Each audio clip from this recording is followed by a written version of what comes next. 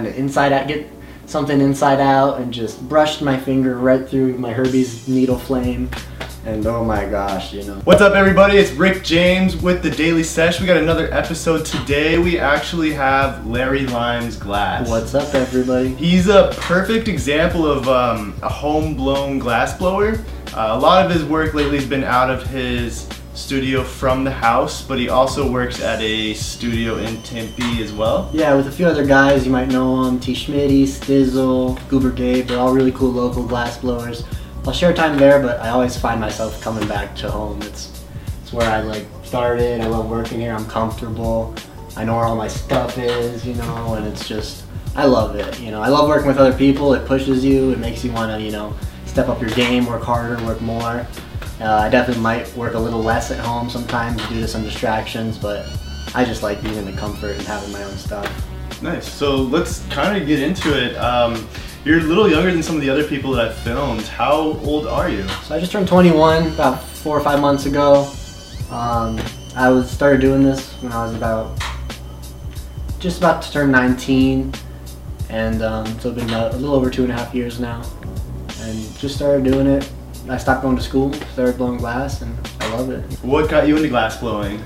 Um, it's uh, back in high school. I had some friends who had some cool glass and Toros and whatnot, and uh, I actually remember one of them convinced me to buy one of them off of him, and you know I loved it. I got so interested in glass. I started trading glass, and just it was so cool on Instagram when I knew nothing. Like every day, I would find ten more artists that I thought were like so awesome and could just make such cool things. And I don't know, it just kind of made me want to put my hand in there and try. So you're just like an everyday smoker and then just started getting into glass blowing. Where did was like one of the first places you actually saw somebody blowing glass? really is when I actually blew glass myself, I think. And that's when I wanted to get into it. So, I, uh, I really had not a lot of prior knowledge about it. I just liked, you know, pipes. I was smoking back in high school you know, thought they were awesome. Just thought everything, you know, on Instagram was awesome. And then actually one of my brother's friends who he's like, oh, this guy kid blows glass, ask him, you know.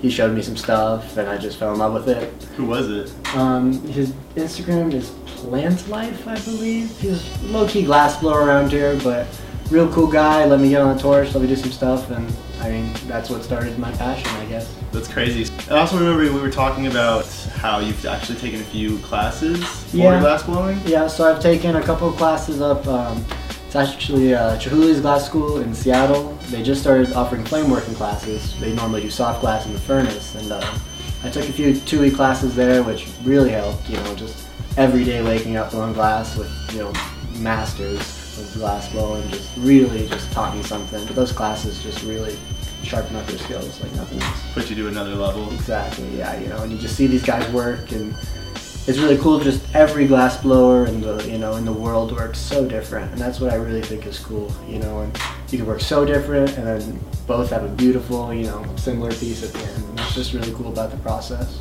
Do you have like glass blowers that you look yep. up to? Okay, or? so I definitely look up to you know uh, Buck Glass, you know one of my favorites. I, I try to make my skeletons without coming near his style at all because you know he just I loved him before I even you know started blowing glass I really respect what he does.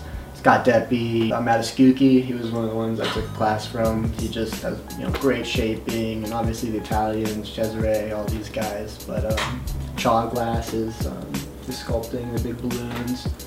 Um, but really, you know, all those guys. I just I appreciate clean work. That's what I want to start to do. And as a young glass blower, it's hard, but clean patterns, clean shaping, clean optics, you know, and then start to throw in these, you know, fun little things, skeletons, big horns, everything, you know, that makes it a silly and whatnot. Talk to me about the piece that we've been working on. We've actually been working on it for like the past three days. Yeah, so like I said, I take a lot of time with my pieces. Anywhere, you know, from a day, I guess, to, you know, a week, a couple weeks. It might not be every day on the torch, but yeah, this was three days of hard work, probably about 20 hours, maybe I'd say here or there in total of, you know, me working on the torch or cold working the piece.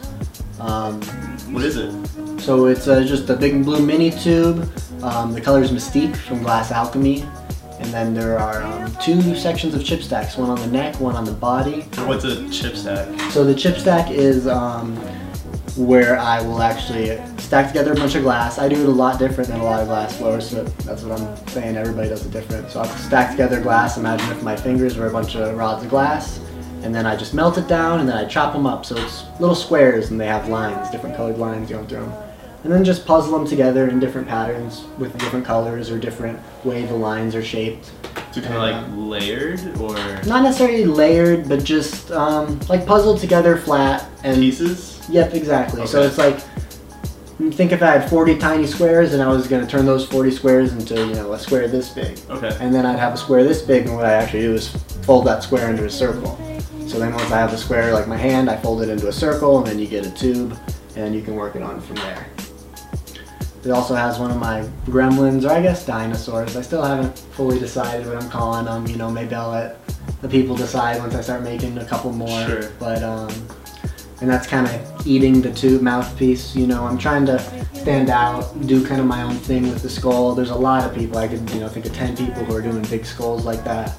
But um, hopefully my little technique of it kind of coming up the mouth is unique. I was gonna say, is anybody else having the skull? You know, I like what you're doing, I haven't really eating the- seen quite. It almost looks like it's anything eating that. the bomb. Yeah, Right? exactly. That's why I like to kind of just like it's just really eating it, and you know I like it's cool. I think when you're actually hitting the piece, it looks like you're staring right at the dinosaur, you know, which is really funny, and um, it's pretty cool. I, I'm excited to show you guys when it's all out together. So what's next for you? Um, that's a good question. Um, probably just you know start working with some other artists, traveling a little bit more. Um, always refining my skills. That's what I love. That's what I want to always do. Do you have any know. goals? Um, obviously to support myself in the future, you know, by making, if I could, if it's really my goal, by making just what I want, you know. Sure. Like I said, the pieces I want to make, not necessarily I make something and everybody loves it and they want, you know, everybody wants one of them. Because, um, you know, a lot of artists do that and I have so much respect for those guys making all those pieces, you know, it's a grind. But for me, I just want to kind of make the individual piece to me that I wanted to smoke out of, you know, and then I hope I could share that with someone and it would be a unique part of their life as well. Personalized. Exactly. glass. It's very personalized. You know, like I said, sometimes, you know, these pieces I'll have in my head, you know, in my heart for a week, a month, you know, and I'm slowly working on it, always thinking. Things change up all the time on the fly. I always start, I think a piece is going to end up some way. It's always totally different. So what he's saying is Larry Limes puts love into all of his glass. Hand blown glass with love. That is actually what I used to say all the time when I started. And I stopped saying it, but I think I'm going to start again. There you go. That should be your logo right there. With love. Put it underneath your bio on There. Instagram. I might, I might do that. But um, yeah, I think it's just you know, it's just important. When I was buying pieces, I was just so it was cool. I'd meet some of the artists, and I was like, I loved it. You know, it was, it was art for me, real you know, real art, and it made me happy if I was having bad days. You know, I mean, yeah, I mean it's a bonus. I'm smoking pot out of it, but you know, I, I love the piece itself. I take it with me hiking, you know, and just you know, I love looking at it, you know, over the mountain, and that's kind of what got me into this love of glass, and as silly as it is, you know, being the pipes, but I think I'll be, you know, around all types of glass, not just pipes, for the rest of my life. Um, speaking on that, glass is kind of a hard thing to work with. What have been some of the challenges that you've had blowing glass? Um, it definitely can be a little tough sometimes. Your things will break, they won't go how you want. You know, someone like me, you know, or these other artists who spend 30, 40 hours on a piece, that can be really, really tough when you're just on the tail end and something goes horribly wrong. And you can just lose it all, right? Oh, lose it all, you know. Like even with this one, you had a, crack in the piece, but Yep. those are easily cleaned out or Yeah, so sometimes, you know, crack would be a horrible thing. On my skulls, they're not the worst thing. You know, they're open from the inside and the bottom. So if it cracks, I can go from both sides, really fix that crack. So as long as I'm not, as long as the hollow vessel doesn't crack, Right. it's that's what's worrying because then you'll see a big scar. But on the skull, you won't even be able to notice. And just to kind of clarify, cracks are kind of normal in glass blowing. Yeah, like, all yeah. of the artists that I filmed before, they have had stuff that's had cracks in the glass. Exactly. You just yeah. clean it up, and as long as it looks perfect and nice, Yep. you know. Yep. So that's just part of the job. Like I said, it's um, you know, and sometimes just they won't work out. You might have to fix them. Have you burned or cut yourself Oh yeah, I got you know two really bad burns on my arm there. You know my thumb's cut, my hand's cut now. Um, I'm maybe a little sloppier than I should be when it comes to being on the torch, but um, yeah, it's just you know part of the job. If I'm gonna be doing this What is 30, been, 40 like, hours a week. the worst you've had? Uh, worst I had was actually when I was at that glass school in Seattle. With Chihuly? Yeah, the Chihuly school for Matt Eskuche's course, and I just I doing? I was trying to inside out get something inside out and just brushed my finger right through my Herbie's needle flame, and oh my gosh, you know. Did it turn into a hot dog? I swear you could almost see the bone there. I was just, it was, but it healed up great, you know. I was a little worried, but healed up almost just about perfect. Back to normal, you know. That's where uh, I heal so fast from burns now as I've been blowing glass, you know, and I almost don't even mind the pain anymore. Is glass blowing more of a hobby for you right now, or? Yeah, it's a hobby that I'm lucky enough to make, you know, a little bit of money basically to pay for all my supplies and stuff, so I'm not necessarily digging myself into a big hole. Um, I was able to have a little money saved up, so like I said, I'm just kind of, I'm not making money, I'm not losing money, just staying even, kind of doing my thing. Um, like I said, I'm not in a rush to put a lot of my work out there until I'm very comfortable with it, until I know that this is the best work I can put out there, you know Quality. quality work. I don't want, you know, and I'm, I'm okay being patient if that's what it takes, but I think I'm just about getting very comfortable in my work. And it's a vulnerable thing, glass blowing, you know, all these people sitting around a table high staring at something you made, you know, maybe judging it to all hell, who knows, you know, Yeah. so.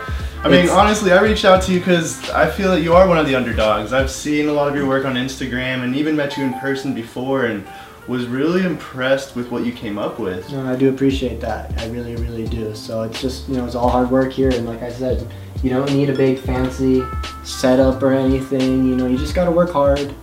Um, you know, find your inspiration where you find it. Um, know where you mess up. I, I'm big on reflecting. I think you learn just as much off the torch maybe as on the torch. You know, or think about why things are happening, why this is happening. Learn about the material itself. You know, that's really what helped me advance a little faster. I think is just picking it apart. You know. Right on. Cool, man. Well, it's been nice talking to you today. Where can we see more of your work at, and where can people reach you at? Um, right now, just Instagram. Really, I got a few, you know, head shops around that have my work. I'm gonna start really, I think, trying to get out there more. I'll have a website coming hopefully in the next, you know, handful of months. And um, but Instagram, I'm gonna try to start using more. I don't use it a ton. Like I said, I keep my head down. I'm working. I'll show off some things that I'm proud of, you know, but. That's gonna change. You'll start seeing me around, so Hopefully, we start seeing you a lot more around. I do appreciate it. I want I'll to see you try. blow up. I'll try. All right, Larry. It was nice talking to you. Yeah, my man, I had a great time. You know, um, I'm happy that you got to come and see how it's done, and I really appreciate you coming out. Nice. Well, that's going to be it for today's episode at the Daily Sesh. Don't forget to like and subscribe this video because it keeps us motivated to do more. And leave a message in the comment. What would you like to see in the future? What kind of glass blowers or even questions to ask? You know, we're here for the people. So thanks again and see you guys later at the Thanks, Daily. Sesh.